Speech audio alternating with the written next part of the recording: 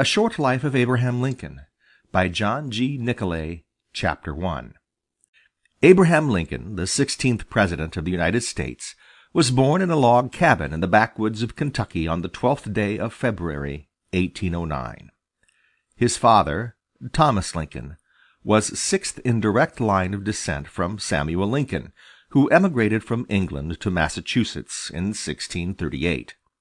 Following the prevailing drift of American settlement, these descendants had, during a century and a half, successively moved from Massachusetts to New Jersey, from New Jersey to Pennsylvania, from Pennsylvania to Virginia, and from Virginia to Kentucky, while collateral branches of the family eventually made homes in other parts of the West. In Pennsylvania and Virginia, some of them had acquired considerable property and local prominence. In the year 1780, Abraham Lincoln, the President's grandfather, was able to pay into the public treasury of Virginia one hundred and sixty pounds current money, for which he received a warrant directed to the principal surveyor of any county within the Commonwealth of Virginia to lay off in one or more surveys for Abraham Linkhorn, his heirs or assigns, the quantity of four hundred acres of land. The error in the spelling of the name was a blunder of the clerk who made out the warrant. With this warrant and his family of five children, Mordecai, Josiah, Mary, Nancy, and Thomas, he moved to Kentucky, then still a county of Virginia, in 1780, and began opening a farm. Four years later, while at work with his three boys in the edge of his clearing, a party of Indians, concealed in the brush, shot and killed him. Josiah, the second son, ran to a neighboring fort for assistance. Mordecai, the eldest, hurried to the cabin for his gun, leaving Thomas, youngest of the family, a child of six years, by his father. Mordecai had just taken down his rifle from its convenient resting place over the door of the cabin when, turning, he saw an Indian in his war paint stooping to seize the child. He took quick aim through a loophole, shot and killed the savage, at which the little boy also ran to the house, and from this citadel Mordecai continued firing at the Indians until Josiah brought help from the fort. It was doubtless this misfortune which rapidly changed the circumstances of the family. Kentucky was yet a wild, new country. As compared with later periods of emigration, settlement was slow and pioneer life a hard struggle. So it was probably under the stress of poverty as well as by the marriage of the older children that the home was gradually broken up, and Thomas Lincoln became, quote, even in childhood, a wandering, laboring boy, and grew up literally without education, before he was grown, he passed one year as a hired hand with his uncle Isaac in Watauga, a branch of the Holston River." Unquote. Later he seems to have undertaken to learn the trade of carpenter in the shop of Joseph Hanks in Elizabethtown. When Thomas Lincoln was about twenty-eight years old he married Nancy Hanks, a niece of his employer near Beechland in Washington County. She was a good-looking young woman of twenty-three, also from Virginia, and so far superior to her husband in education that she could read and write, and taught him how to sign his name. Neither one of the young couple had any money or property, but in those days living was not expensive, and they doubtless considered his trade a sufficient provision for the future. He brought her to a little house in Elizabethtown, where a daughter was born to them the following year. During the next twelvemonth Thomas Lincoln either grew tired of his carpenter work or found the wages he was able to earn insufficient to meet his growing household expenses. He therefore bought a little farm on the Big South Fork of Nolin Creek in what was then Hardin and is now Larue County, three miles from Hodgensville and thirteen miles from Elizabethtown.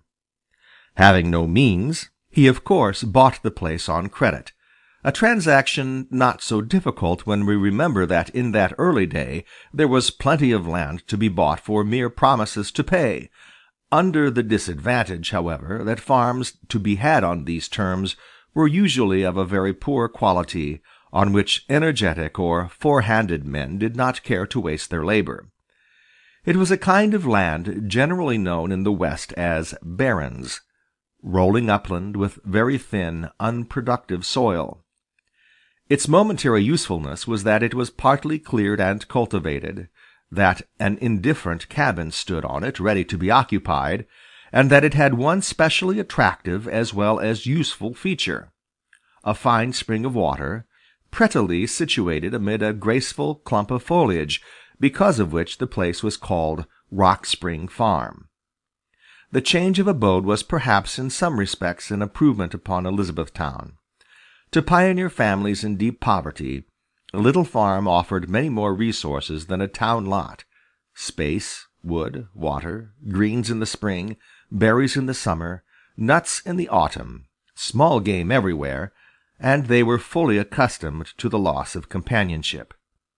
On this farm, and in this cabin, the future President of the United States was born on the 12th of February, 1809, and here the first four years of his childhood were spent. When Abraham was about four years old, the Lincoln home was changed to a much better farm of two hundred and thirty-eight acres on Knob Creek, six miles from Hodgensville, bought by Thomas Lincoln, again on credit, for the promise to pay one hundred and eighteen pounds. A year later he conveyed two hundred acres of it by deed to a new purchaser. In this new home the family spent four years more, and while here, Abraham and his sister Sarah began going to A.B.C. schools. Their first teacher was Zachariah Riney, who taught near the Lincoln cabin; the next, Caleb Hazel, at a distance of about four miles. Thomas Lincoln was evidently one of those easy-going, good-natured men who carry the virtue of contentment to an extreme. He appears never to have exerted himself much beyond the attainment of a necessary subsistence. By a little farming and occasional jobs at his trade, he seems to have supplied his family with food and clothes. There is no record that he made any payment on either of his farms. The fever of westward emigration was in the air, and, listening to glowing accounts of rich lands and newer settlements in Indiana, he had neither valuable possessions nor cheerful associations to restrain the natural impulse of every frontiersman to move. In this determination his carpenter's skill served him a good purpose, and made the enterprise not only feasible but reasonably cheap. In the fall of 1816 he built himself a small flatboat, which he launched at the mouth of Knob Creek, half a mile from his cabin, on the waters of the Rolling Fork. This stream would float him to Salt River, and Salt River to the Ohio. He also thought to combine a little speculation with his undertaking. Part of his personal property he traded for four hundred gallons of whiskey. Then, loading the rest on his boat with his carpenter's tools and the whiskey, he made the voyage, with the help of the current, down the Rolling Fork to Salt River, down Salt River to the Ohio, and down the Ohio to Thompson's Ferry, in Perry County on the Indiana shore. The boat capsized once on the way, but he saved most of the cargo. Sixteen miles out from the river he found a location in the forest which suited him. Since his boat would not float upstream, he sold it, left his property with a settler, and trudged back home to Kentucky, all the way on foot, to bring his wife and the two children, Sarah, nine years old, and Abraham, seven. Another son had been born to them some years before, but had died when only three days old. This time the trip to Indiana was made with the aid of two horses, used by the wife and children for riding and to carry their little equipage for camping at night by the way. In a straight line the distance is about fifty miles, but it was probably doubled by the very few roads it was possible to follow. Having reached the Ohio and crossed to where he had left his goods on the Indiana side, he hired a wagon, which carried them and his family the remaining sixteen miles through the forest to the spot he had chosen, which in due time became the Lincoln farm. It was a piece of heavily timbered land, one and a half miles east of what has since become the village of Gentryville in Spencer County. The lateness of the autumn compelled him to provide a shelter as quickly as possible, and he built what is known on the frontier as a half-faced camp, about fourteen feet square. This structure differed from a cabin in that it was closed on only three sides and open to the weather on the fourth. It was usual to build the fire in front of the open side, and the necessity of providing a chimney was thus avoided.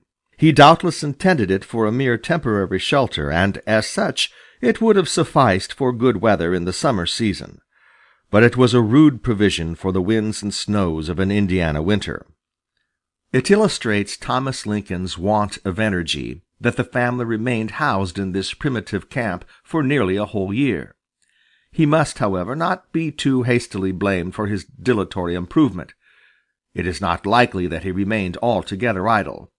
A more substantial cabin was probably begun, and besides there was the heavy work of clearing away the timber, that is, cutting down the large trees, chopping them into suitable lengths, and rolling them together into great log heaps to be burned, or splitting them into rails to fence the small field upon which he managed to raise a patch of corn and other things during the ensuing summer. Thomas Lincoln's arrival was in the autumn of 1816. That same winter Indiana was admitted to the Union as a State. There were as yet no roads worthy of the name to or from the settlement formed by himself and seven or eight neighbors at various distances. The village of Gentryville was not even begun. There was no sawmill to saw lumber. Breadstuff could be had only by sending young Abraham on horseback seven miles with a bag of corn to be ground on a hand grist mill. In the course of two or three years a road from Corydon to Evansville was laid out, running past the Lincoln farm, and perhaps two or three years afterward another from Rockport to Bloomington, crossing the former. This gave rise to Gentryville. James Gentry entered the land at the crossroads. Gideon Romine opened a small store, and their joint efforts succeeded in getting a post office established from which the village gradually grew. For a year after his arrival Thomas Lincoln remained a mere squatter. Then he entered the quarter section, 160 acres, on which he opened his farm, and made some payments on his entry, but only enough in eleven years to obtain a patent for one half of it. About the time that he moved into his new cabin, relatives and friends followed from Kentucky, and some of them in turn occupied the half-faced camp. In the ensuing autumn much sickness prevailed in the Pigeon Creek settlement. It was thirty miles to the nearest doctor, and several persons died, among them Nancy Hanks Lincoln, the mother of young Abraham. The mechanical skill of Thomas was called upon to make the coffins, the necessary lumber for which had to be cut with a whipsaw. The death of Mrs. Lincoln was a serious loss to her husband and children. Abraham's sister Sarah was only eleven years old, and the tasks and cares of the little household were altogether too heavy for her years and experience. Nevertheless, they struggled on bravely through the winter and next summer. But in the autumn of 1819 Thomas Lincoln went back to Kentucky and married Sally Bush Johnston, whom he had known and, it is said, courted when she was merely Sally Bush. Johnston, to whom she was married about the time Lincoln married Nancy Hanks, had died, leaving her with three children. She came of a better station in life than Thomas, and is represented as a woman of uncommon energy and thrift, possessing excellent qualities both of head and heart. The household goods which she brought to the Lincoln home in Indiana filled a four-horse wagon. Not only were her own three children well clothed and cared for, but she was able at once to provide little Abraham and Sarah with home comforts to which they had been strangers during the whole of their young lives. Under her example and urging, Thomas at once supplied the yet unfinished cabin with floor, door, and windows, and existence took on a new aspect for all the inmates. Under her management and control, all friction and jealousy was avoided between the two sets of children, and contentment, if not happiness, reigned in the little cabin. The new stepmother quickly perceived the superior aptitudes and abilities of Abraham. She became very fond of him, and in every way encouraged his marked inclination to study and improve himself. The opportunities for this were meager enough. Mr. Lincoln himself has drawn a vivid outline of the situation. "It was a wild region, with many bears and other wild animals still in the woods. There I grew up. There were some schools so called, but no qualification was ever required of a teacher beyond readin', writin', and cipherin' to the rule of three. If a straggler supposed to understand Latin happened to sojourn in the neighborhood, he was looked upon as a wizard. There was absolutely nothing to excite ambition for education." Unquote. As Abraham was only in his eighth year when he left Kentucky, the little beginnings he had learned in the schools kept by Riney and Hazel in that State must have been very slight probably only his alphabet, or possibly three or four pages of Webster's Elementary Spelling Book. It is likely that the multiplication table was as yet an unfathomed mystery, and that he could not write or read more than the words he spelled. There is no record at what date he was able again to go to school in Indiana. Some of his schoolmates think it was in his tenth year or soon after he fell under the care of his stepmother. The schoolhouse was a low cabin of round logs, a mile and a half from the Lincoln home, with split logs or puncheons for a floor, split logs roughly leveled with an axe and set up on legs for benches, and a log cut out of one end and the space filled in with squares of greased paper for window panes. The main light in such primitive halls of learning was admitted by the open door. It was a type of school building common in the early West, in which many a statesman gained the first rudiments of knowledge.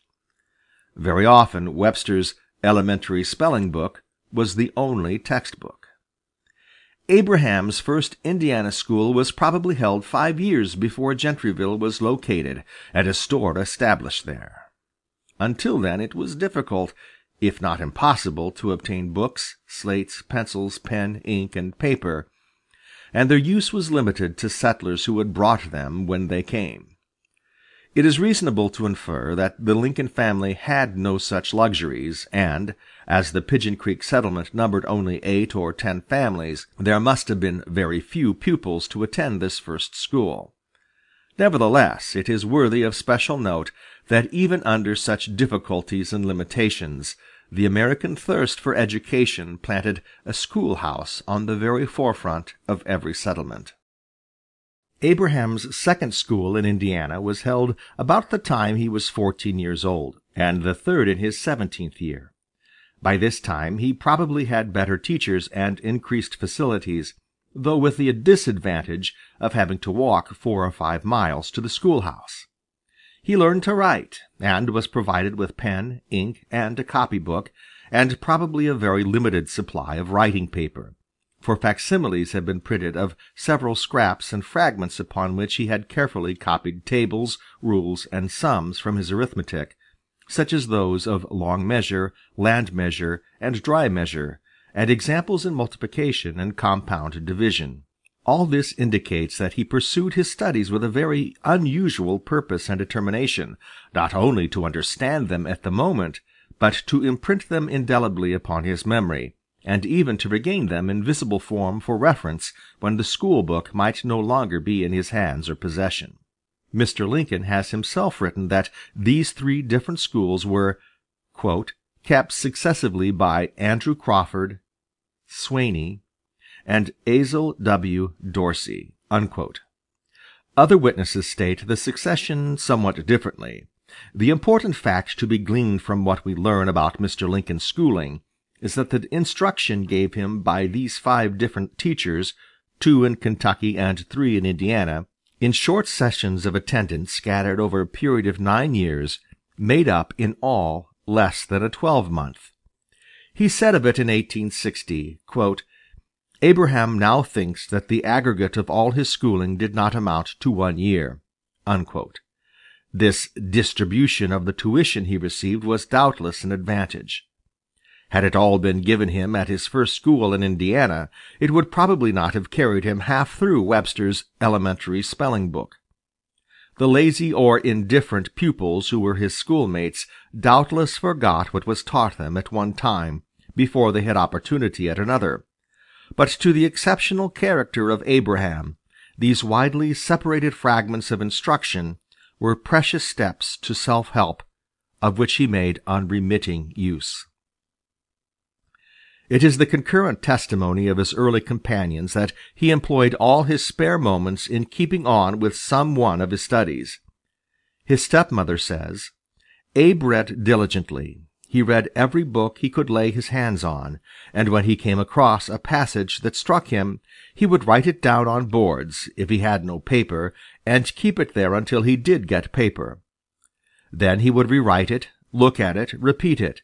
He had a copy book, a kind of scrap-book in which he put down all things and thus preserved them. There is no mention that either he or other pupils had slates and slate pencils to use at school or at home, but he found a ready substitute in pieces of board. It is stated that he occupied his long evenings at home doing sums on the fire shovel. Iron fire shovels were a rarity among pioneers. They used, instead, a broad, thin clapboard with one end narrowed to a handle. In cooking by the open fire, this domestic implement was of the first necessity to arrange piles of live coals on the hearth, over which they set their skillet and oven, upon the lids of which live coals were also heaped. Upon such a wooden shovel Abraham was able to work his sums by the flickering firelight. If he had no pencil, he could use charcoal and probably did so. When it was covered with figures he would take a drawing knife, shave it off clean, and begin again. Under these various disadvantages, and by the help of such troublesome expedients, Abraham Lincoln worked his way to so much of an education as placed him far ahead of his schoolmates, and quickly abreast of the acquirements of his various teachers. The field from which he could glean knowledge was very limited, though he diligently borrowed every book in the neighborhood. This list is a short one. Robinson Crusoe, Aesop's Fables, Bunyan's Pilgrim's Progress, Weem's Life of Washington, and A History of the United States. When he had exhausted other books, he even resolutely attacked the Revised Statutes of Indiana, which Dave Turnham, the constable, had in daily use, and permitted him to come to his house and read. It needs to be borne in mind that all this effort at self-education extended from first to last over a period of twelve or thirteen years, during which he was also performing hard manual labor, and proves a degree of steady, unflinching perseverance in a line of conduct that brings into strong relief a high aim and the consciousness of abundant intellectual power. He was not permitted to forget that he was on an uphill path a stern struggle with adversity. The leisure hours which he was able to devote to his reading, his penmanship, and his arithmetic were by no means overabundant. Writing of his father's removal from Kentucky to Indiana, he says, He settled in an unbroken forest, and the clearing away of surplus wood was the great task ahead. Abraham, though very young, was large of his age, and had an axe put into his hands at once, and from that till within his twenty-third year he was almost constantly handling that most useful instrument, less of course in plowing and harvesting seasons. John Hanks mentions the character of his work a little more in detail. Quote, he and I worked barefoot, grubbed it, plowed, mowed, and cradled together; plowed corn, gathered it, and shucked corn." Unquote.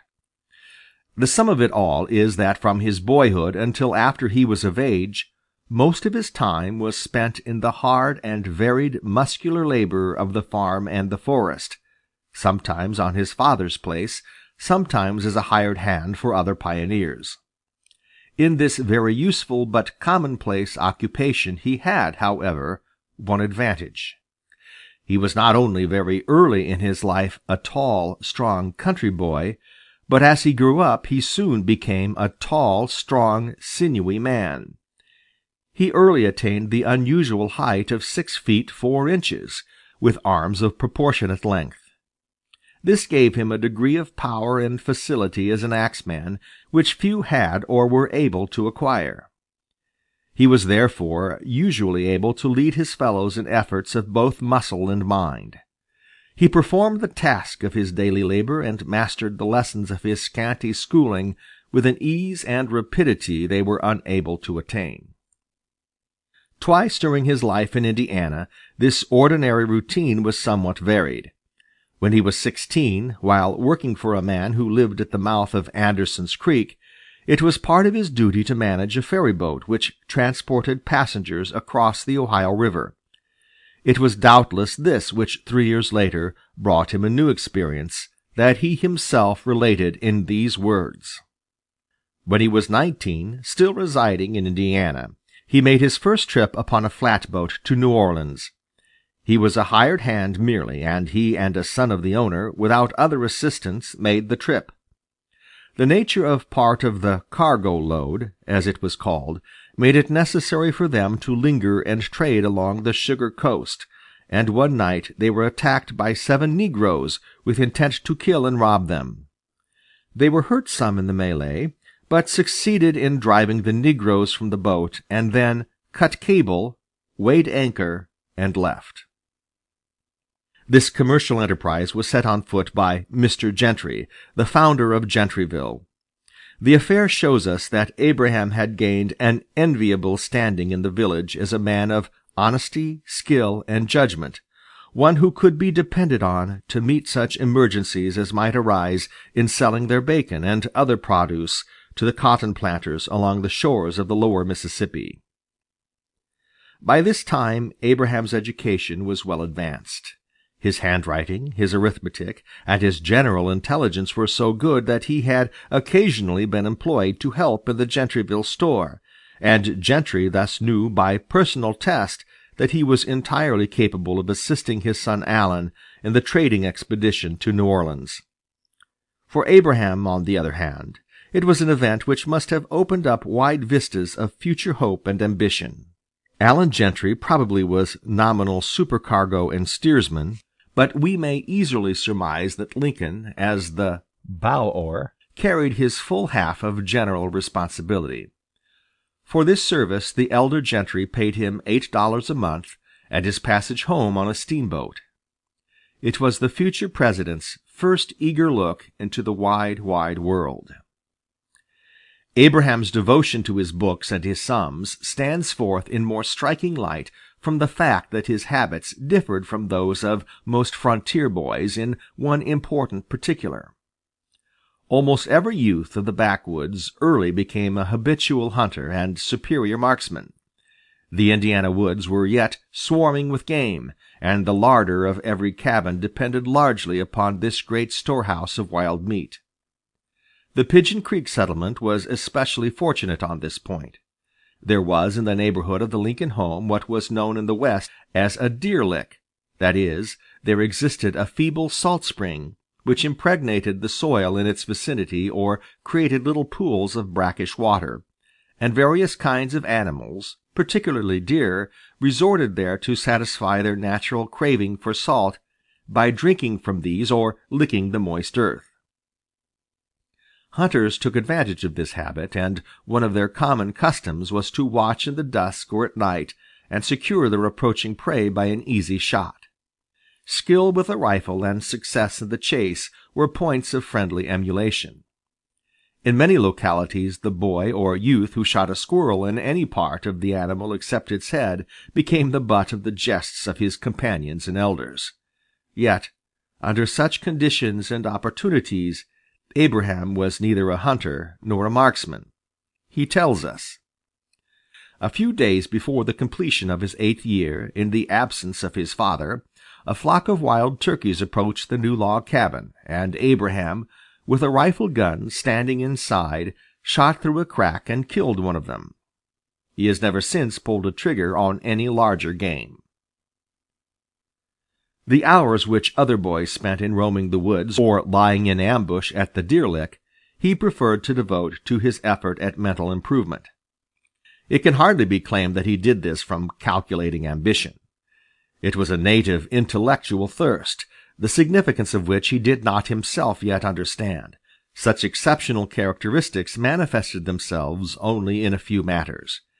In most particulars he grew up as the ordinary backwoods boy develops into the youth and man. As he was subjected to their usual labors, so also he was limited to their usual pastimes and enjoyments. The varied amusements common to our day were not within their reach. The period of the circus, the political speech, and the itinerant show had not yet come. Schools, as we have seen, and probably meetings or church services, were irregular, to be had only at long intervals. Primitive athletic games and commonplace talk, enlivened by frontier jests and stories, formed the sum of social intercourse, when half a dozen or a score of settlers of various ages came together at a house raising or corn husking, or when mere chance brought them at the same time to the post office or the country store. On these occasions, however, Abraham was, according to his age, always able to contribute his full share or more. Most of his natural aptitudes equipped him especially to play his part well. He had quick intelligence, ready sympathy, a cheerful temperament, a kindling humor, a generous and helpful spirit. He was both a ready talker and appreciative listener. By virtue of his tall stature and unusual strength of sinew and muscle, he was from the beginning a leader in all athletic games. By reason of his studious habits and his extraordinarily retentive memory, he quickly became the best story teller among his companions. Even the slight training he gained from his studies greatly quickened his perceptions and broadened and steadied the strong reasoning faculty with which nature had endowed him. As the years of his youth passed by, his less gifted comrades learned to accept his judgments and to welcome his power to entertain and instruct them. On his own part, he gradually learned to write not merely with the hand, but also with the mind, to think. It was an easy transition for him from remembering the jingle of a commonplace rhyme to the constructing of a doggerel verse, and he did not neglect the opportunity of practising his penmanship in such impromptus. Tradition also relates that he added to his list of stories and jokes humorous imitations from the sermons of eccentric preachers. But tradition has very likely both magnified and distorted these alleged exploits of his satire and mimicry. All that can be said of them is that his youth was marked by intellectual activity far beyond that of his companions. It is an interesting coincidence that nine days before the birth of Abraham Lincoln, Congress passed the act to organize the territory of Illinois, which his future life and career were destined to render so illustrious. Another interesting coincidence may be found in the fact that in the same year 1818, in which Congress definitely fixed the number of stars and stripes in the national flag, Illinois was admitted as a state to the Union. The star of empire was moving westward at an accelerating speed. Alabama was admitted in 1819, Maine in 1820, Missouri in 1821. Little by little the line of frontier settlement was pushing itself toward the Mississippi. No sooner had the pioneer built him a cabin and opened his little farm than during every summer canvas-covered wagons wound their toilsome way over the new-made roads into the newer wilderness, while his eyes followed them with wistful eagerness.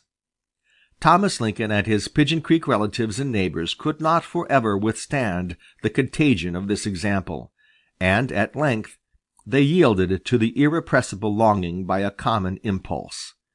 Mr. Lincoln writes: March 1, 1830, Abraham having just completed his twenty-first year, his father and family, with the families of the two daughters and sons-in-law of his stepmother, left the old homestead in Indiana and came to Illinois. Their mode of conveyance was wagons drawn by ox teams, and Abraham drove one of the teams. they reached the county of Macon, and stopped there some time within the same month of March. His father and family settled a new place on the north side of the Sangamon River, at the junction of the timberland and prairie, about ten miles westerly from Decatur. Here they built a log cabin, into which they removed and made sufficient of rails to fence ten acres of ground, fenced and broke the ground, and raised a crop of sown corn upon it the same year. The sons-in-law were temporarily settled in other places in the county. In the autumn all hands were greatly afflicted with ague and fever to which they had not been used, and by which they were greatly discouraged, so much so that they determined on leaving the county. They remained, however, through the succeeding winter, which was the winter of the very celebrated deep snow of Illinois. End of chapter one.